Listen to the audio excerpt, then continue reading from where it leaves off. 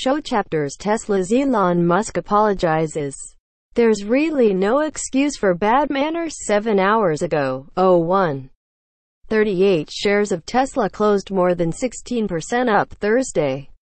A day after CEO Elon Musk and the automaker promised a profitable second half of 2018 during its second quarter earnings report. The stock had its best day since December 2013 when it gained 16.53%. It's a welcome stock bump for investors who sent Tesla shares skidding more than 5% after the company's last earnings report in May, and Musk's bizarre comments during the earnings call with analysts. On Wednesday, Tesla posted a greater than expected loss per share for the second quarter and revenue that just edged out Wall Street estimates. Musk helped lift share prices with apologies for past bad behavior. By the close on Thursday, shares of Tesla had gained 12% in 2018 and were just 11% off 52-week highs.